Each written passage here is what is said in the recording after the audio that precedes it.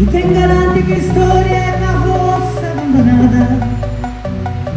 Una vera d'estrada un lume scarso in gloria.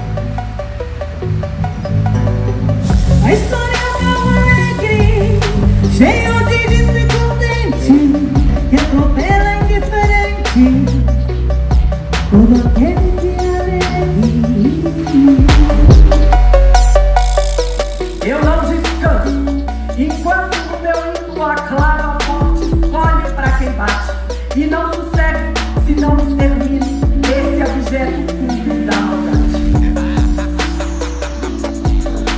É o que desejo. E para isso faço falar que o futuro existe em nossas vidas e que transforme essa calamidade na mais intensa sensação de liberdade. Sejam bem-vindos e bem-vindas. O momento pede mudanças e queremos que algo de fato aconteça. Que tenhamos lucidez para abrir novas janelas.